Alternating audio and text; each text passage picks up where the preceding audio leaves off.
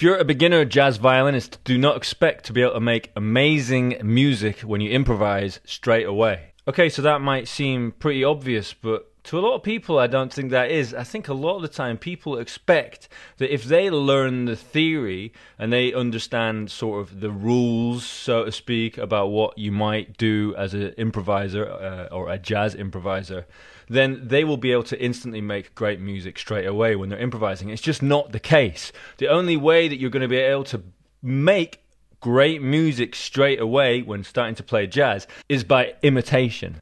Transcribe solos, learn those solos by ear, learn them by heart, make sure that you've got them in your psyche, learn them in different keys, mess around with them, try and enjoy using different parts of those solos in your own improvisation. That's the way that you're going to sound good quickly. Follow and share and like for more and all that stuff. See you later.